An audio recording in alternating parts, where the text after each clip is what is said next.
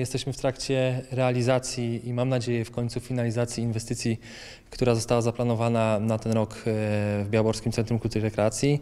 E, mam tu oczywiście na myśli e, budowę systemu wentylacji i klimatyzacji u nas na sali, fotowoltaiki, systemu fotowoltaicznego na dachu oraz zakup sprzętu nagłośnieniowego, który już, już jest u nas, już wczoraj pierwszy raz nam tutaj zagrał.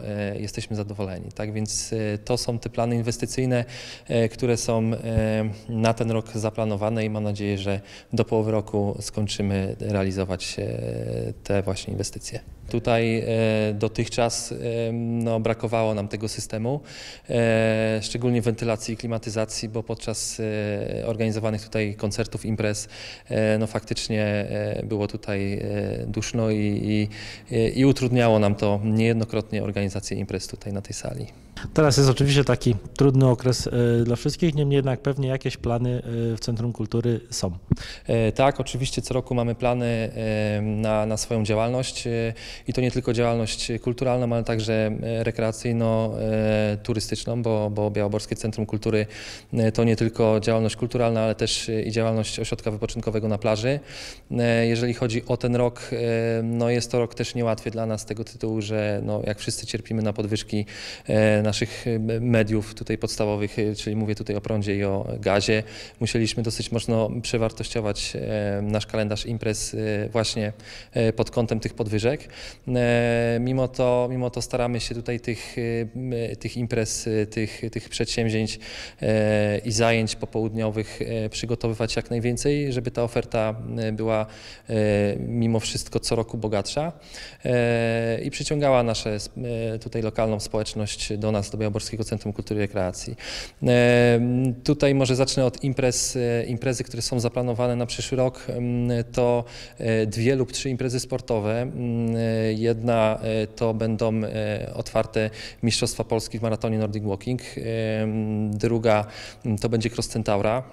Tutaj staliśmy się zasadniczo tak przez przypadek stolicą, można powiedzieć, Nordic Walking w Polsce.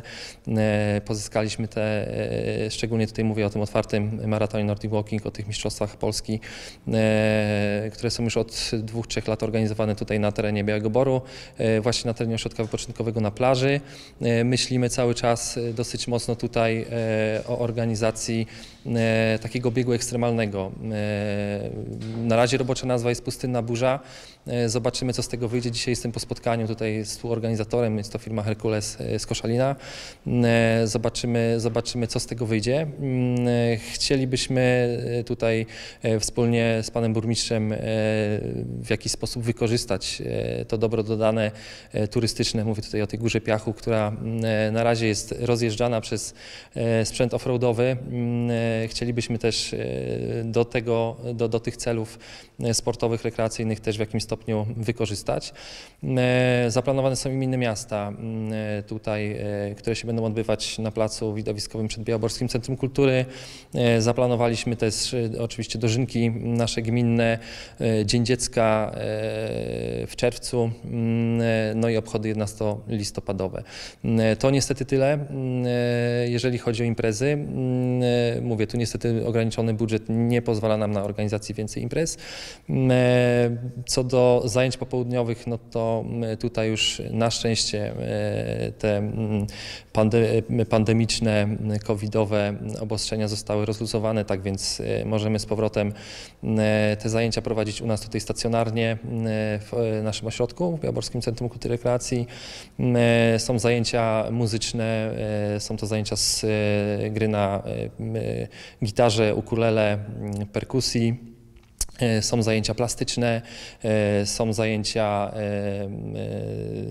ogólnorozwojowe dla dzieci, są, jest to rytmika, jest to sensoplastyka, zajęcia językowe, E, no i tutaj, tutaj jeszcze planujemy nad, nad uruchomieniem e, jeszcze innych zajęć. Zobaczymy, bo to też wszystko kwestia, jak nam się uda pozyskać e, osoby prowadzące zajęcia, czyli instruktorów.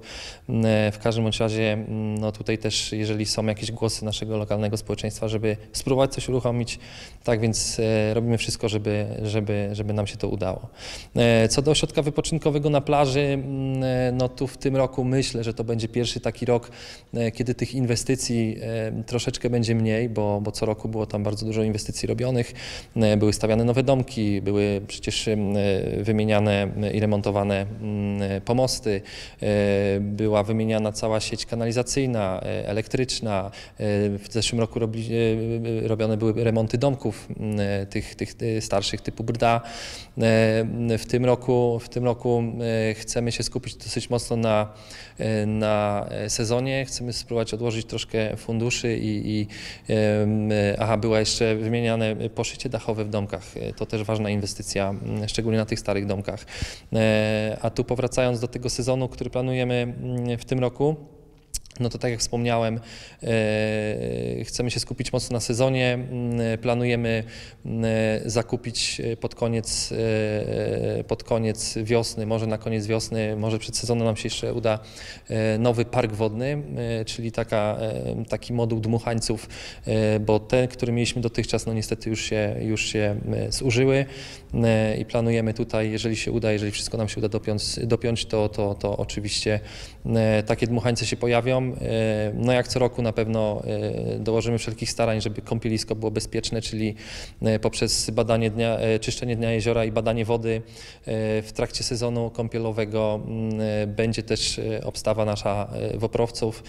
Mówię tutaj oczywiście o zachodnim pomorskim mm, naszym woprze, z których usług korzystamy już od wielu, wielu lat i, i, i odpukać no na razie jest bezpiecznie i jest fajnie u nas na plaży. Tak więc serdecznie zapraszamy w sezonie.